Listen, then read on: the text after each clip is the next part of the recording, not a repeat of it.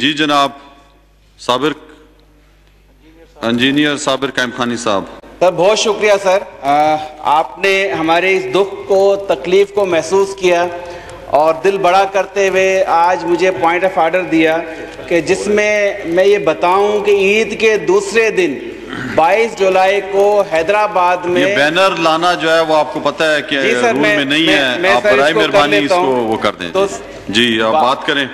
22 जुलाई को हैदराबाद के इलाके लतीफाबाद नंबर 8 अकबरी ग्राउंड में हेस्को का ट्रांसफार्मर फटा और ट्रांसफार्मर फटने के नतीजे में जो उसका आयल, वहाँ खड़े लोगों पे, बच्चों पे, मस्जिद से निकलने वाले, मस्जिद की खिदमत अंजाम देने वाले, हुफाज कराम, मसाजिद के नमाजी, उनके ऊपर गिरा, जिससे सर फौरी तौर पर 23 लोग शदीद जख्मी हुए।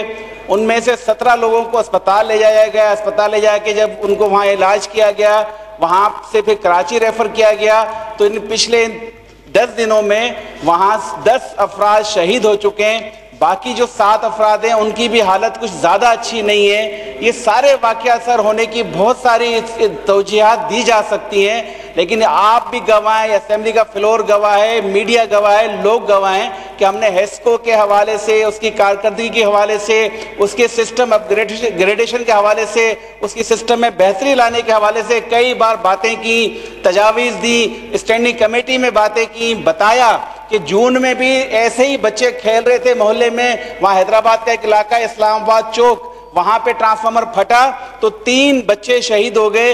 ये ऐसे वाकयात हैं जिनकी निशानदेही करते रहे।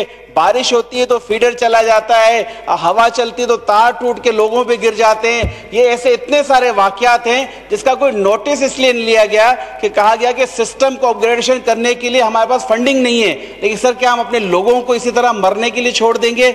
आज अगर हम इन तेईस लोगों का देखें जिसमें जवान बेवाएँ हो गई, बच्चे यतीम हो गए, उनका कौन मदावा करेगा?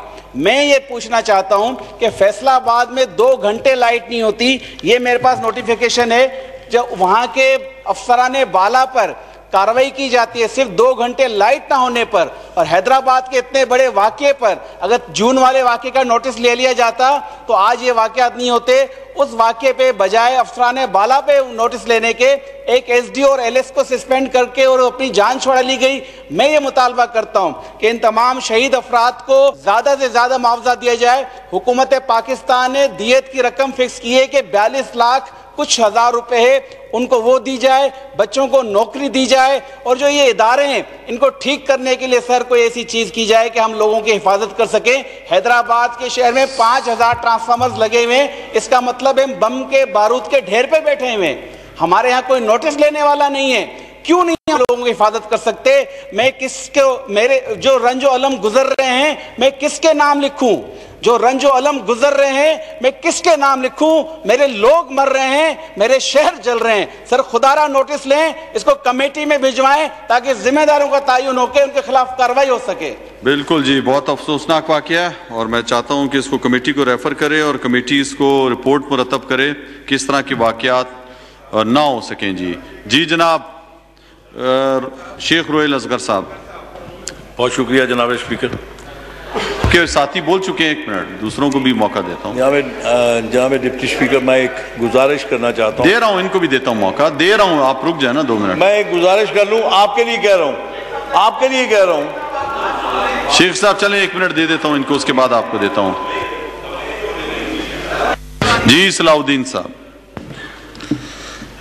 शुक्रिया जनाब डिप्टी स्पीकर साहब कि आपने मुझे पॉइंट ऑफ़ ऑर्डर पे बात करने का मौका दिया। हैदराबाद का सानिया, जो कि 22 जुलाई को हैदराबाद में ईद के दूसरे दिन वाक़ हुआ। जनाब स्पीकर, हम पिछले तीन साल से बार बार वजारत बिजली की तवज्जो हैदराबाद में नाकिस इंफ्रास्ट्रक्चर की तरफ़ उनकी तवज्जा दिलाने की कोशिश कर रहे हैं। जैसे कि साबिर भाई ने बताया कि 19 जून को हैदराबाद में एक वाक्य हुआ, उसमें तीन बच्चे, हलाक हुए और कई लोग उसमें जख्मी हुए। एक महीना गुजरा था, एक महीना।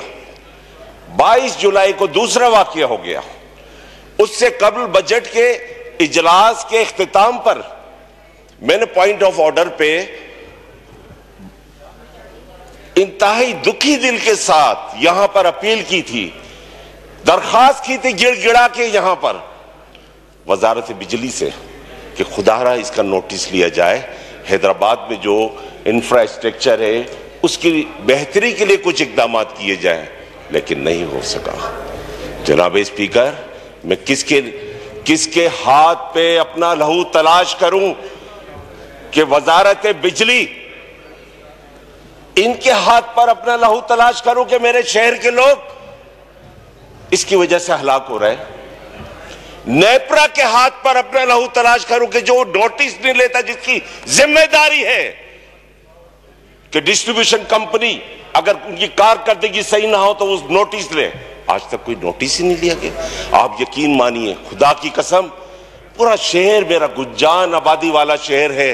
मेरे पूरे हलके में एक जगह से लेकर दूसरी जगह तक कमर्शियल एक्टिविटीज़ होती है और वहाँ जो ट्रांसफार्मर लगे हर ट्रांसफार्मर से धुआँ निकल रहा होता ऑयल बह रहा होता है जगह जगह ट्रांसफार्मर गिर रहे होते हैं खंभों से।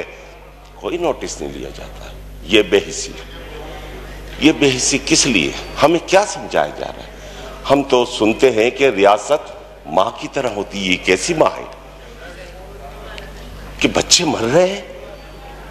इन्हें फ़िक्र नहीं है इन्हें कोई दिलचस्पी नहीं है इन्हें अगर कोई बाबू वापडा का बाबू बाबू इनको जो ब्रीफिंग दे देता है उनकी मान लेते हैं।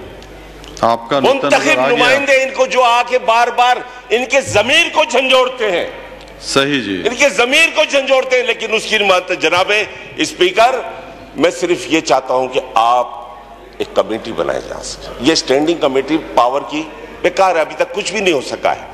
आप स्पीकर की तरफ़ से एक कमेटी बनवाएँ जो हैदराबाद में वाकयात हो रहे हैं जो ट्रांसफार्मर लगे हुए गिर रहे हैं, जल रहे हैं, बहुत शुक्रिया जी लोग बहुत शुक्रिया। आपका मर आ गया हैं, जी नुक्ता नज़र आ गया नोटिस जी।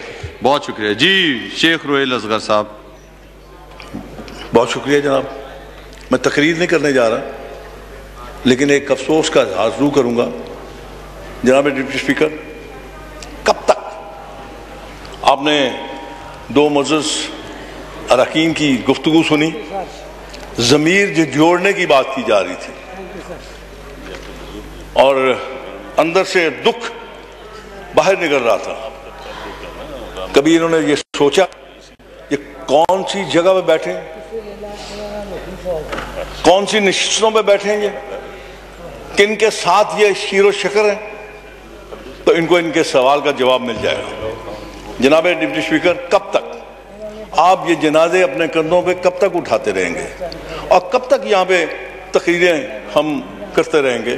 कब तक अपने अल्फाज आप तक सुनाते रहेंगे? आप नोट कर लीजिए, मैं सिर्फ़ एक लफ्ज कहने के लिए उठाऊं।